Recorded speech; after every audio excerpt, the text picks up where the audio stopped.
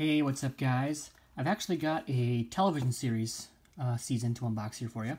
This is the first season of the FX original series uh, associated with Marvel Television, Legion. I did not know this had a lenticular cover, which is pretty cool. Look at this. That's neat.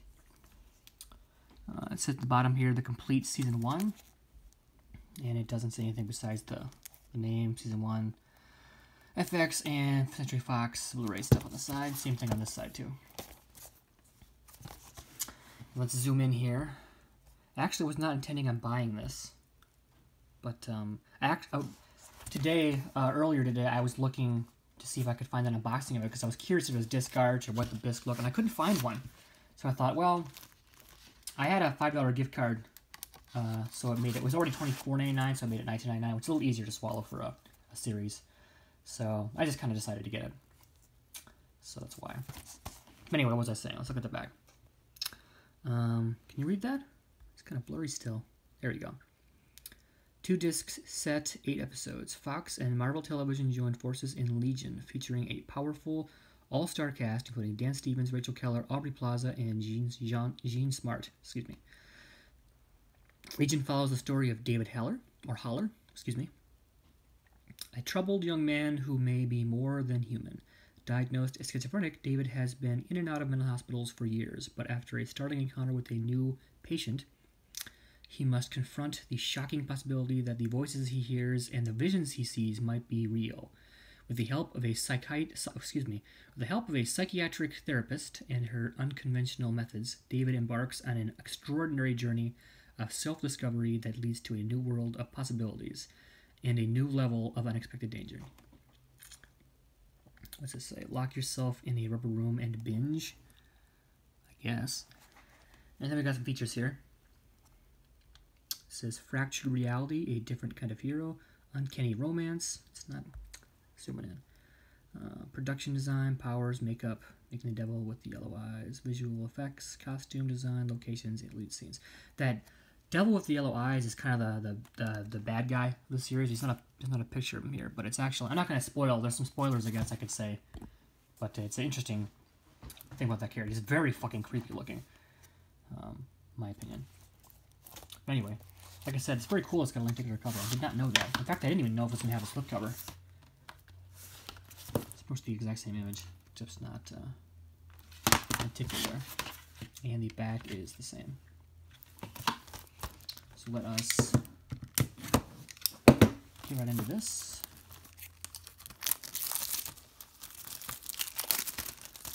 This, uh, I think the second season is actually airing um, in a couple weeks.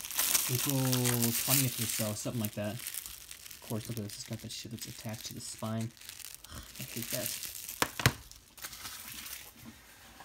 And it's just like Fox uh, typically, for their TV shows, they do not have a digital copy, which would be nice if this had one. I would actually keep it, as opposed to selling it. What's going on here? I'm trying to grab some more of that shit on the side here, but can't get it. So that's what's even more annoying. I can't even get the pieces that's stuck. Or what the fuck ever. Alright. That's just two, and there's disc one some background art. This is really flimsy.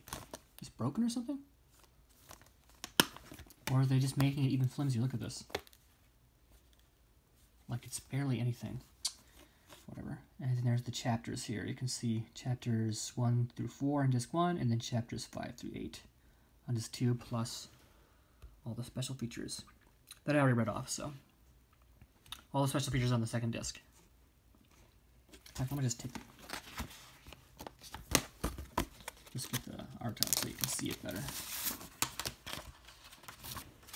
Yeah, fuck.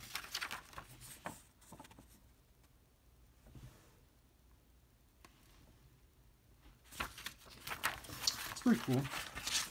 Excuse me, let's put it over here.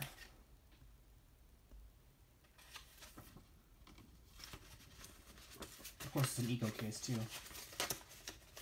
But like seriously, this is so flimsy. It's irritating.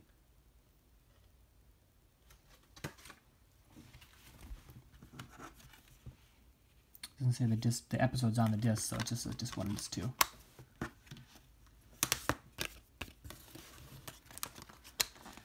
There's actually a little booklet that comes with this.